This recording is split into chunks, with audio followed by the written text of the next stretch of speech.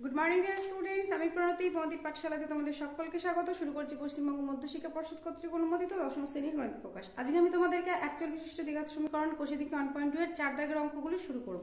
তা আসো, শুরু করা যাক।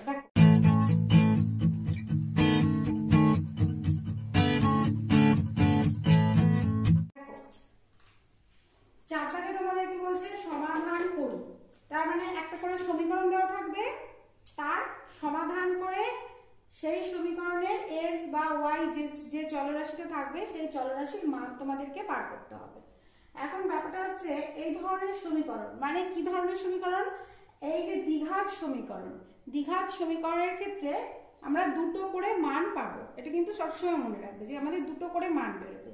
এখন দেখো, সমীকরণটি আমি আগেই লিখে রেখেছি যে থ্রি ওয়াই স্কোয়ার মাইনাস কুড়ি ইজ ইকুয়াল টু একশো ষাট মাইনাস টু ওয়াই স্কোয়ার। এখন আমরা কি করব দেখো? সমজাতীয় রাশিগুলি, অর্থাৎ এই যে ওয়াই স্কোয়ার ওয়াই স্কোয়ার এই দুটো সমজাতীয় রাশি, তার মানে থ্রি ওয়াই স্কোয়ারের পাশে আমরা টু ওয়াই স্কোয়ার নিয়ে আসব।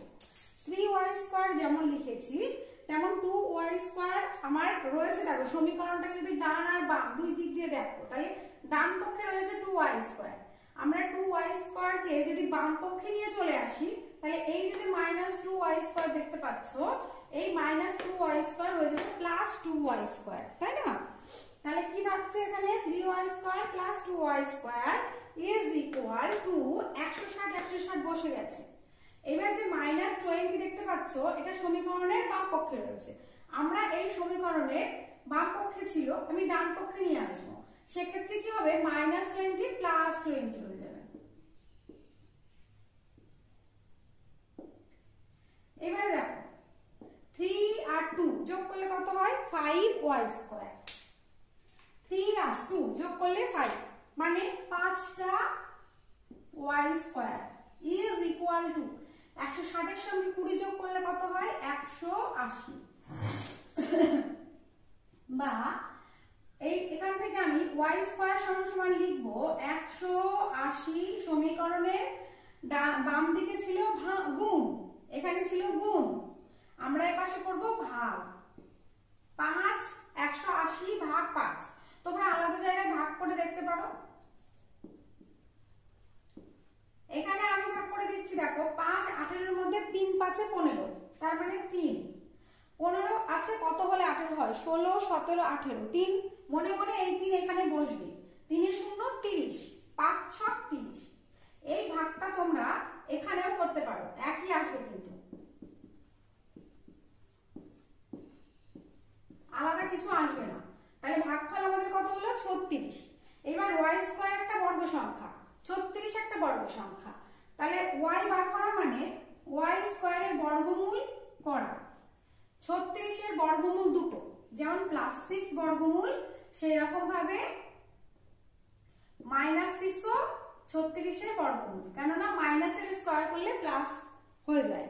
মাইনাস সিক্স এর হোল স্কোয়ার করলে প্লাস ছত্রিশ। আবার একই রকম ভাবে প্লাস সিক্স এর হোল স্কোয়ার করলেও ছত্রিশ। তাই জন্য আমরা ওয়াই স্কোয়ারের যে রুট বেরোবে, যে বীজ বেরোবে, সেটা প্লাস সিক্স এবং মাইনাস সিক্স দুটোকেই নেব। তাহলে ওয়াই এর দুটো মান বেরোলো প্লাস সিক্স এবং মাইনাস সিক্স হয়ে গেল আমাদের এক দাগের অঙ্ক। এখন আমি তোমাদেরকে চারের দুই দাগ করব, করিয়ে দেবো আর কি। তোমরা অঙ্কটি ভালো করে দেখো টোপো আমি এটা একটু ভিজিয়ে নিয়ে আসি।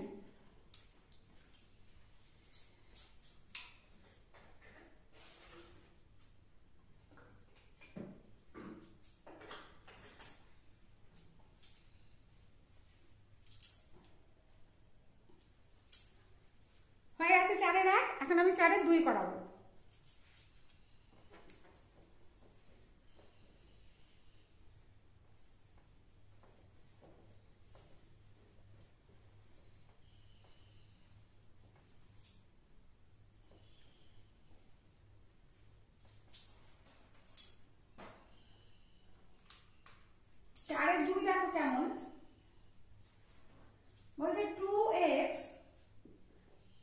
1 তার whole square plus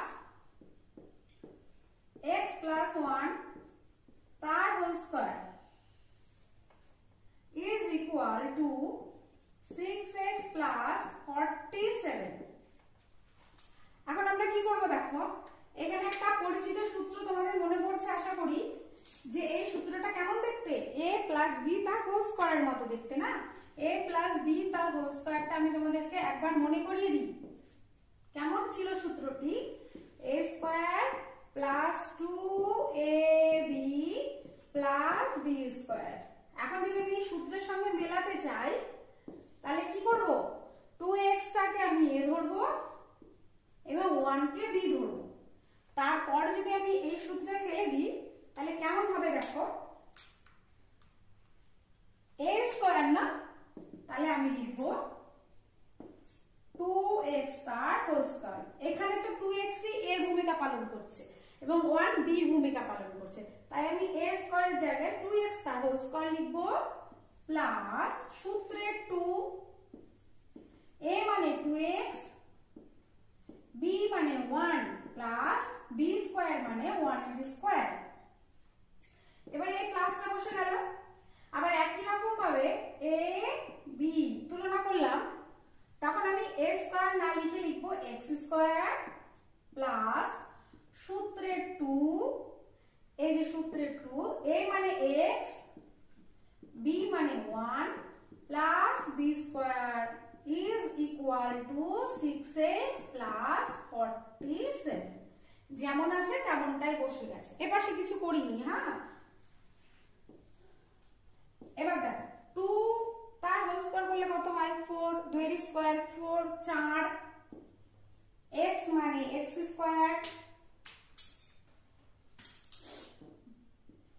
four X square plus দুই দুগানি চার অক্ষে চার ফোর এক্স প্লাস ওয়ান ওয়ানের স্কোয়ার করলে one plus X square X square বসল প্লাস দুই অক্ষে দুই ইন্টু এক্স মানে দুই এক্স প্লাস ওয়ানের স্কোয়ার করলে ওয়ানই বসবে ইজ ইকুয়াল টু এ পাশে কিছু করলাম না, যেমন আছে তেমন লিখলাম বা এবার সমজাতীয় রাশিগুলি যোগ করব। সমজাতীয় রাশি দেখো ফোর এক্স স্কোয়ার একটা আছে, আর এই যে এক্স স্কোয়ার আমি সমজাতীয় রাশিগুলি আগে লাল কালি দিয়ে আন্ডারলাইন করে দিই।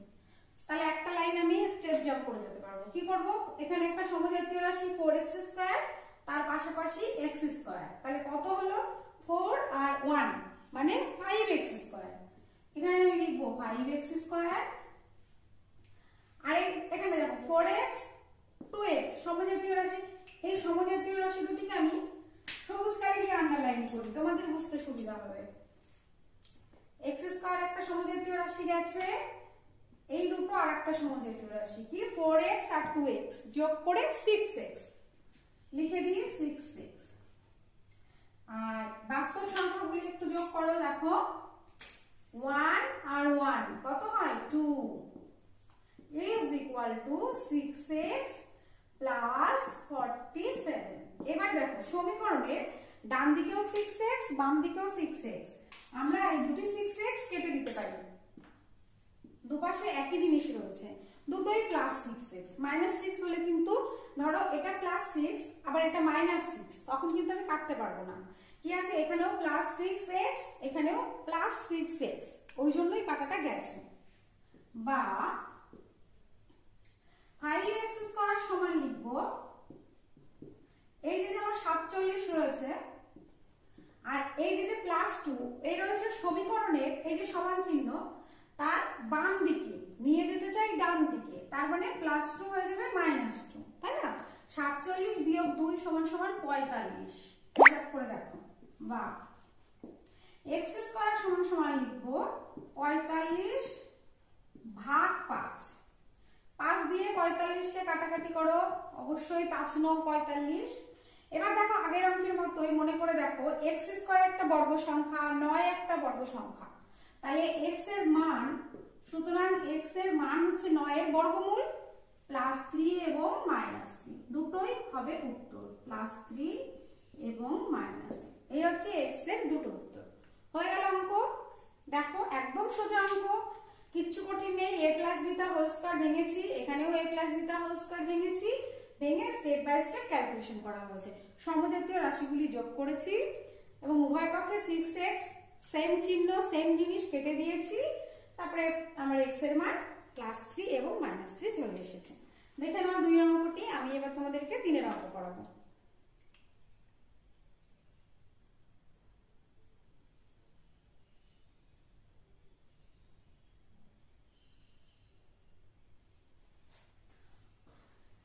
আশা করি হয়ে গেছে এবার মুছে দিলাম অঙ্কটি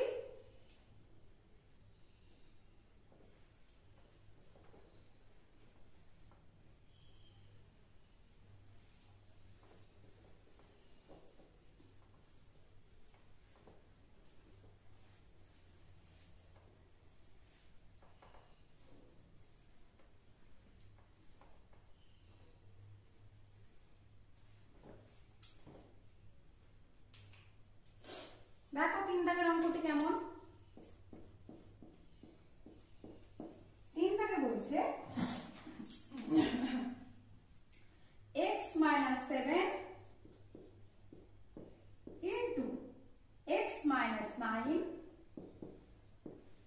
is equal to 195 এই অঙ্কটি কি? দেখো, কোনো a প্লাস b হোল স্কয়ারের সূত্র নেই, a মাইনাস b হোল স্কয়ারের সূত্র নেই। কোনো সূত্র সূত্র নেই কিন্তু এখানে। আমরা কি করব? এটাকে ধরে গুণ করে দেবো। গুণ করলেই আমরা অঙ্কের থেকে এগোতে পারব। গুণটাকে যদি একটু ভেঙে করি, তোমরা যারা এই ধরনের গুণ একবারে করে দিতে পারবে, তারা করে দেবে। কিন্তু যাদের একটু প্রবলেম হবে, তাদের জন্য আমি স্টেপ বাই স্টেপ ভেঙে করাচ্ছি। কি করছি? প্রথমে x কে প্রথমে x কে x মাইনাস নাইন দিয়ে গুণ করব মাইনাস সেভেন কেও আবার একইভাবে x মাইনাস নাইন দিয়ে গুণ করব। এই হচ্ছে বীজগাণিতিক গুণের একটা প্রথম ধাপ। ইজ ইকুয়াল টু যেটা আছে সেটা লিখব। এবারে কি করব দেখো? x ইনটু এই x কে আবার দুটো জিনিসের সঙ্গে আলাদা আলাদা করে গুণ করতে হবে। x কে প্রথমে যেমন x দিয়ে গুণ করব তেমন ভাবে এই x কে আবার 9 দিয়ে গুণ করব। এক্ষেত্রেও সেম জিনিস হবে সেভেনকে আমি একবার x দিয়ে গুণ করব, আবার নাইন দিয়েও গুণ করব, তাই না? তোমাদের সুবিধার জন্য আমি একদম ভেঙে ভেঙে অঙ্কগুলি করাচ্ছি। কি করছি? এক্স ইন্টু এক্স মানে x square x into X মানে x স্কোয়ার লিখে দিই, x square x into minus nine মানে মাইনাস নাইন এক্স এইবারে প্লাসে মাইনাসে মাইনাস সেভেন এক্স মাইনাসে মাইনাসে প্লাস তেষট্টি ইজ ইকুয়াল টু একশো পঁচানব্বই। বা কি করব দেখো এক্স স্কোয়ার লিখলাম, নয়ের সাথে মাইনাস ষোলো। এক্স নয়ের সাথে যোগ করলাম কেন? যদি একই চিহ্ন প্লাস বা মাইনাস সেটা কোনো কথা নয়। একই চিহ্ন যদি থাকে, তাহলে আমরা যোগ করি। সংখ্যাগুলো যোগ করার পরে যে চিহ্নগুলি যোগ করলাম, সেই চিহ্নটাই বসবে। অর্থাৎ মাইনাস নাইন মাইনাস সেভেন মানে এটা যেহেতু যোগ বিয়োগ, মনে রাখবে, এটা কিন্তু গুণ নয়। যে তোমরা বলবে মাইনাসে মাইনাসে প্লাস এটা কিন্তু সেই সূত্র নয়। এটা হচ্ছে যোগ বিয়োগের সূত্র। অর্থাৎ দুটো মাইনাস মানে এখানে মাইনাসই বসবে। প্লাস তেষট্টি মাইনাস একশো পঁচানব্বই। তেষট্টি মাইনাস একশো পঁচানব্বই এপাশে কিছু নেই মানে জিরো। পঁচানব্বই আমি এই পাশে নিয়ে এসেছি। কোন পাশে? ডান পক্ষে ছিল, বাম পক্ষে নিয়ে এসেছি বা দিকে নিয়ে এসেছি। ওই জন্য প্লাস একশো পঁচানব্বই মাইনাস একশো পঁচানব্বই হয়েছে। এখন দেখো রাফ ওয়ার্ক একটু করে দিই। একশো তেষট্টি থেকে একশো পঁচানব্বই থেকে আমি তেষট্টি বাদ দেবো। কত থাকবে? তিন, দুয়ে পাঁচ, ছয়, তিনে নয়, একশো বত্রিশ। এবারে দেখো, আগের বারে দুটোই বিয়োগ ছিল, ওই জন্য আমি ধরে যোগ করেছিলাম। কিন্তু এখানে কি হচ্ছে? তেষট্টি আর একশো পঁচানব্বই। তেষট্টির আগে প্লাস একশো পঁচানব্বই এর আগে মাইনাস ওই জন্য দুটো আলাদা চিহ্ন যেহেতু আমরা বিয়োগ করেছি। দেখো, একশো পঁচানব্বই থেকে তেষট্টি বিয়োগ করেছি। এইবারে চিহ্ন কোনটা বসবে? বড় সংখ্যার সামনে যে চিহ্নটি আছে, অর্থাৎ একশো পঁচানব্বই তেষট্টির চেয়ে বড়। একশো পঁচানব্বইয়ের সামনে রয়েছে মাইনাস চিহ্ন। তাই আমরা যখন একশো বত্রিশ লিখব, মাইনাস একশো বত্রিশ লিখব। কথা ক্লিয়ার হলো তো? দেখো, দুটো এখানে মাইনাস নাইন, মাইনাস সেভেন যোগ করে ষোলো হয়েছে। যেহেতু দুটোই মাইনাস, বসে গেছে মাইনাস। এখানে তেষট্টি, একশো পঁচানব্বই, আলাদা আলাদা চিহ্ন, ওই জন্য বিয়োগ করা হয়েছে। বিয়োগ করে দেখা গেল একশো বত্রিশ হলো। যেহেতু একশো পঁচানব্বই বড় সংখ্যা, তাই এই চিহ্নটাকে আমরা বেছে নিয়েছি। একশো বত্রিশের সামনে আমরা মাইনাস বসাবো। তাহলে এখানে একটা স্টেপ জাম্প করছি। তোমরা খাতায় আলাদা লাইন করে করতে পারো বা স্টেপ ধরে ধরে করতে পারো স্টেপ জাম্পও করতে পারো। আমি এখানে সরাসরি মাইনাস একশো বত্রিশ লিখব। হলো? এইবার এই অঙ্ক যখন এরকম একটা পজিশনে চলে আসে এখানে একটা দ্বিঘাত, তারপরে একটা একঘাত, তারপরে একশো বত্রিশ। একটা বাস্তব সংখ্যা। এক্ষেত্রে আমাদের করতে হয় মিডিল টার্ম হ্যাঁ মিডিল টার্ম ফ্যাক্টর কি করব? একশো বত্রিশের ফ্যাক্টরগুলো বার করব। একশো বত্রিশ কোথায় পাচ্ছি? এই যে, এই সংখ্যাটার ফ্যাক্টর বার করতে গেলে কি করতে হয়? এরকম একশো বত্রিশ লিখতে হয়। একে ভাঙতে হয় দুই, ছয় দুগানি বারো। তেরোর মধ্যে বারো গেছে, থাকল এক। মনে মনে এখানে এক বসাও বারো, ছয় দুগানি বারো। দুই, তেত্রিশ। দুই সরি এখানে দুই দেওয়া যাবে না, তিন। তিন, এগারো। এখন দেখো আমি এখান থেকে দুটো উৎপাদক নেব। অর্থাৎ তিন, এগারো, তেত্রিশ করে একটা উৎপাদক এবং দুই দুগানি চার করে আর একটা উৎপাদক। এখন কথাটা হচ্ছে কি, এই দুটো উৎপাদকের এখানে যেহেতু বিয়োগ চিহ্ন রয়েছে হ্যাঁ সেই জন্য দুটো উৎপাদকের বিয়োগ ফল কি ষোলো হবে? দেখা যাক হয় কিনা। চার, আঠাশ চারে বারো, নয় নয়, আর এখানে এক, তার মানে দুই, উনত্রিশ। ষোলো হলো না। তাহলে আমরা এই তেত্রিশ আর চার, এই দুটি উৎপাদক নিতে পারব না। কি নেব? আমি এবার এগারো আর এগারো এগারো দুগানি বাইশ নেব। বাইশ নেব, একটা উৎপাদক, এবং তিন দুগানি ছয় নেব, আর একটা উৎপাদক। এদের বিয়োগ করে দেখি, ছয় আছে ছয় বারো, হাতে এক, ষোলো। তাহলে কত দাঁড়াচ্ছে? ষোলো। এই যে ষোলো আমি পেয়ে গেছি, এই ষোলোটা পেয়ে গেছি। কোন দুটো উৎপাদক নিয়ে না? বাইশ এবং ছয় নিয়ে। ওই জন্য এই দুটি উৎপাদকই নেওয়া হবে। কি করব দেখো? এক্স স্কোয়ার মাইনাস ষোলোকে ঘুরিয়ে বাইশ মাইনাস সিক্স করব। তারপরে একটা এই এক্সটা বসালাম। এখানে বাইশ মাইনাস সিক্স মানে ষোলো লিখেছি। তারপরে এক্সটা বসালাম। মাইনাস একশো বত্রিশ ইজ ইকুয়াল টু জিরো অনেকক্ষণ লাল কালি দিয়ে অনিচ্ছাকৃত ভাবে লিখে ফেলেছি। আমি নীল কালি ব্যবহার করতে চাইছি। দেখো বা এক্স স্কোয়ার লিখলাম। মাইনাস বাইশ ইন্টু এক্স মানে মাইনাস বাইশ এক্স। মাইনাসে মাইনাসে প্লাস সিক্স এক্স। মাইনাস একশো বত্রিশ ইজ ইকুয়াল টু জিরো। বা, এই দুটোর মধ্যে এক্স কমন গেলে এক্স মাইনাস বাইশ প্লাস এই দুটোর মধ্যে কিন্তু সিক্স কমন যাবে। কারণ একশো বত্রিশ হচ্ছে ছয় এবং বাইশের গুণফল। ওই যে ছয় ইন্টু বাইশের গুণফল। তাহলে এখানে থাকবে এক্স মাইনাস বাইশ। Is equal to zero. গোটা লাইন থেকে আমার এক্স মাইনাস বাইশ কমন যাবে। এখান থেকে এক্স মাইনাস বাইশ পরে থাকলে এক্স থাকে, প্লাস সিক্স থাকে। Is equal to zero. এখন আমরা কি করব? এক্সের দুটো মান পেয়ে যাচ্ছি, কি? সুতরাং X is equal to minus বাইশের জায়গায় প্লাস বাইশ এবং X is equal to plus six এর জায়গায় মাইনাস সিক্স কেমন করে হয় এই জিনিসটা একটু বুঝিয়ে দিই দেখো। দুটো জিনিসের গুণফল শূন্য মানে তাদের মধ্যে অবশ্যই একটা করে আলাদাভাবে জিরো অর্থাৎ এক্স মাইনাস বাইশ ইজিক্যাল টু জিরো হতে হবে।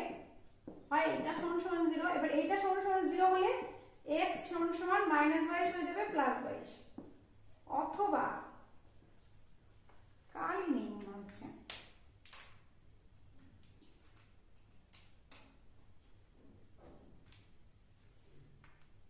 অথবা X plus six is equal to zero. এখান থেকে x সমান সমান মাইনাস সিক্স হয়ে যাবে। তাহলে x এর দুটো মান, একটা বাইশ, একটা মাইনাস সিক্স। হয়ে গেল অঙ্ক চারের তিন ভাগ। এবারে আমরা করব চারের চার ভালো করে বুঝে নাও অঙ্কটা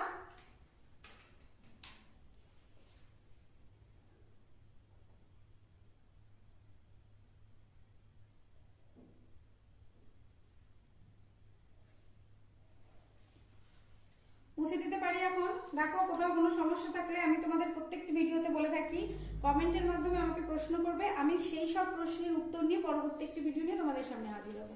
অঙ্কটি মুছে ফেলছি।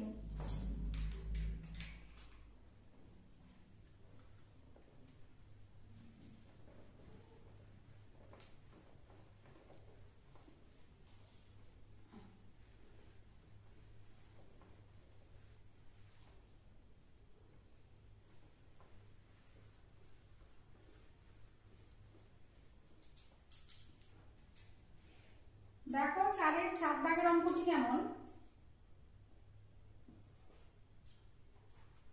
চারের চার দাগ বলছে three X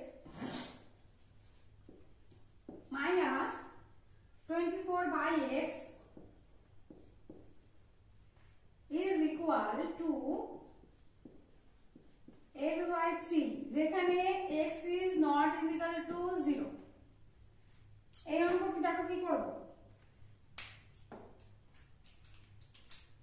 এই অঙ্কটি করার জন্য আমরা প্রথম ধাপ হচ্ছে এখানে তো অবশ্যই একটা বা লিখতে হবে, তোমরা জানো। হ্যাঁ?